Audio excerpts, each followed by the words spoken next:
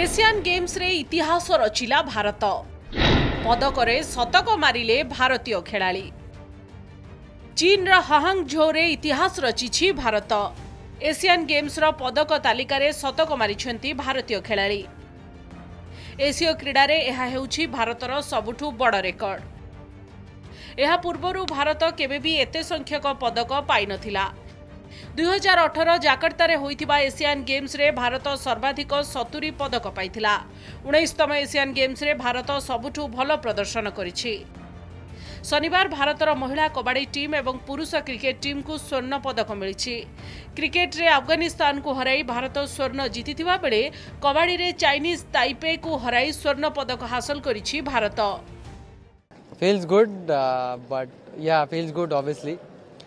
to be part of something uh, unexpected. Uh, obviously, real thanks to uh, the Indian team management and the selectors for having faith in me and trust in me. And you know, would like to thank everyone who were involved in this in these games. Obviously, all the 15 players and all the support staff who gave their more than best. I feel more than 110 percent, and I think this wouldn't have been possible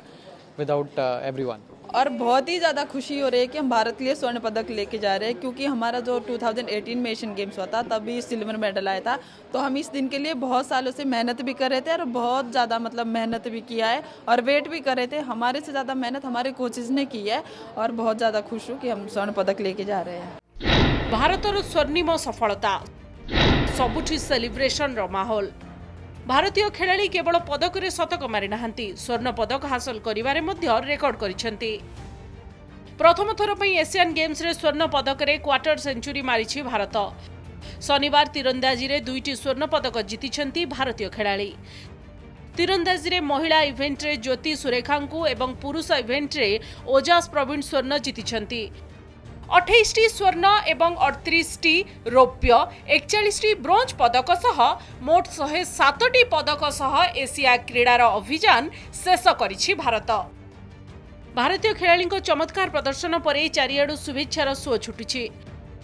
ଭାରତର ସଫଳତା ପାଇଁ ଶୁଭେଚ୍ଛା ଜଣାଇଛନ୍ତି ପ୍ରଧାନମନ୍ତ୍ରୀ ନରେନ୍ଦ୍ର ମୋଦି ଏହି ଖୁସିରେ BJP ପକ୍ଷରୁ ବିଭିନ୍ନ ସ୍ଥାନରେ ଉତ୍ସବ ପାଳନ କରାଯାଉଛି ହୁଇ ମେଡଲ୍ସ କି ବଚାର ଇସ୍ ବାର ସପାର मैं हमारे सभी खिलाड़ियों को एथलीट्स को 140 करोड़ भारतीयों की ओर से बहुत बहुत बधाई और शुभकामनाएं देता हूं। आपने वर्तमान और भविष्य के खिलाड़ियों के लिए एक नई प्रेरणा दी है और चीन में जब जब गोल्ड जीता तब तिरंगा शान से लहराया है और सौवा मेडल किसी और गेम में नहीं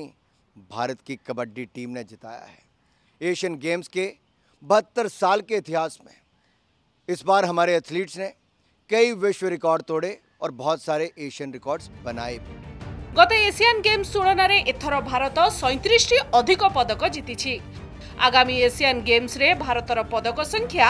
आहुरी बढ़ आशा रही ब्यूरो रिपोर्ट कनक न्यूज़